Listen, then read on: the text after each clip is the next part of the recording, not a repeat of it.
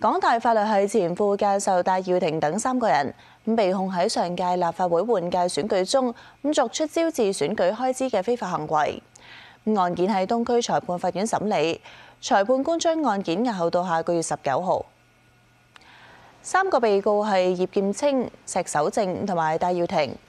各人被控四項喺選舉中作出招致選舉開支嘅非法行為罪。控罪指二零一六年立法會換屆選舉，咁被告並非候選人或者任何候選人嘅選舉開支代理人，但係透過雞蛋同盟刊登六個廣告，咁招致選舉開支合共超過廿五萬三千蚊。三個人無需答辯，案件轉到區域法院審訊。葉劍清同石守正繼續以現金一萬蚊保釋，不得離港同埋接觸控方證人。咁戴耀廷因為初選案繼續還押。